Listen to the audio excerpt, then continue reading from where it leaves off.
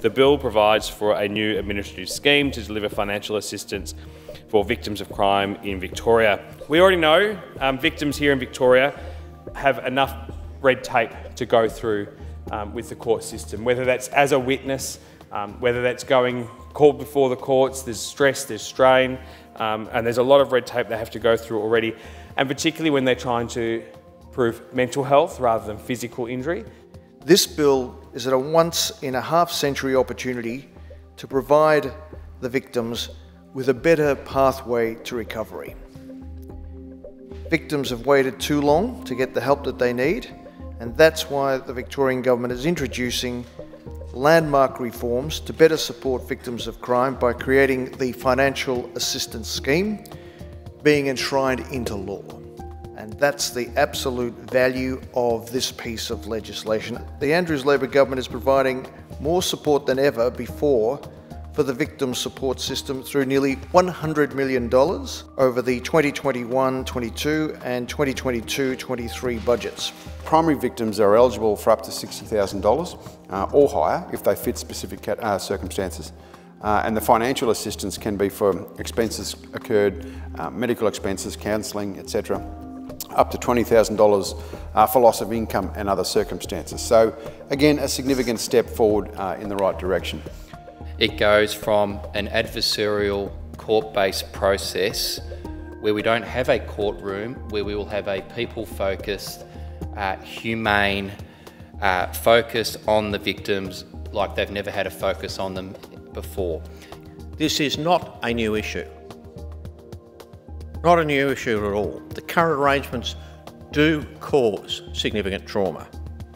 They do cause, or there are, I should say, lengthy delays.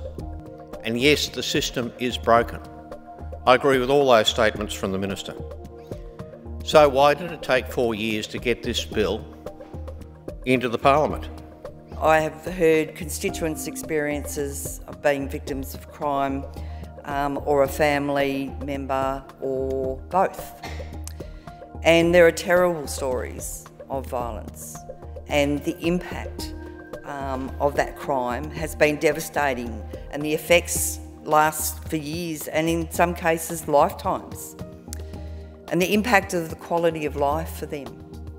Um, and you hear those stories and you know people not being able to work anymore because of um, what they've had to deal with.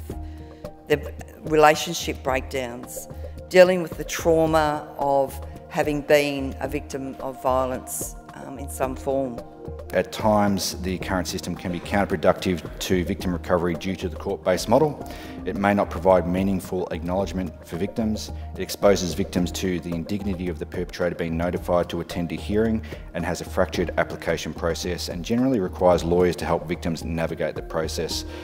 So these findings were, were strong, they were consistent, and feedback from the victims and the interest groups uh, was basically, we want major reform. And that is what this piece of legislation brings to this parliament and takes to our community uh, when it receives royal assent. This bill makes the principle that the victim should be protected from further trauma, intimidation, of distress central to the legislation and makes the needs of victims, safety and wellbeing paramount in the process of financial assistance.